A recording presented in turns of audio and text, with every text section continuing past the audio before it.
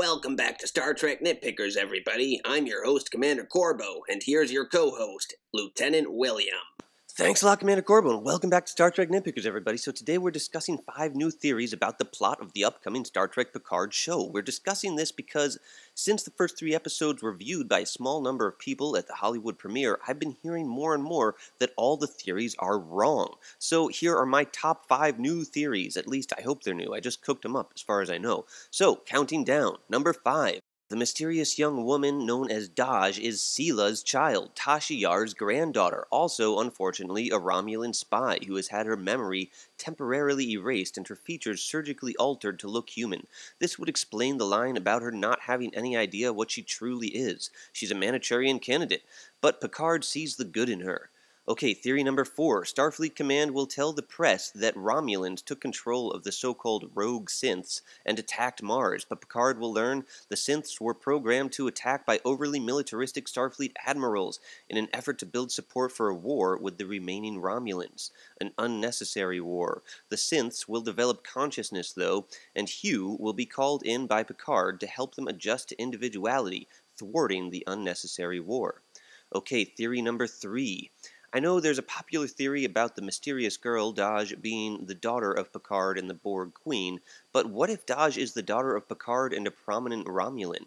If her identity is revealed, it could have drastic consequences, perhaps even starting a war. Perhaps when Laris says to Picard, We still remember what you did, she is talking about him sending his baby to live with someone else. Perhaps he did it for her own safety. Perhaps when Picard is musing about how the best legacy is honesty in the new clip that came out, he's thinking about telling the world he had a child with a Romulan.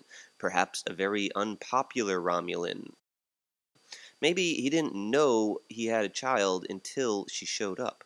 Okay, this theory is similar to theory number five, but there are some interesting differences. So here we go. Theory number two Dahj starts to recover her memories and realizes she was assimilated by the Borg, but somehow her Borg implants were removed, like Seven of Nine. What she doesn't realize is that there's still nanotech in her brain sending info to the Borg and waiting for the right moment to use her as a weapon. She's a Borg spy, and she doesn't even know it.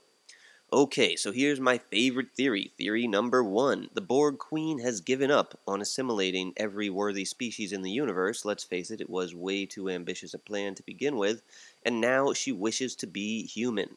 In Star Trek First Contact, we learn the Borg Queen was basically sort of lonely when she created Locutus, and also sort of intrigued by human beings.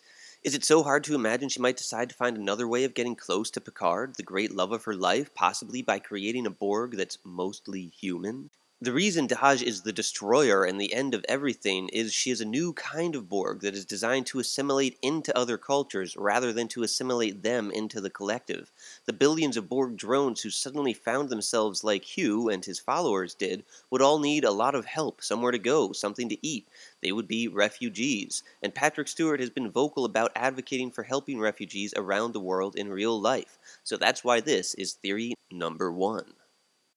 Thanks so much for watching, everybody. Please do subscribe if you haven't already. Hit the like button if you like this video. Hit the bell if you'd like to get notifications about our next videos. And please share this video and leave a comment. Also, live long and prosper.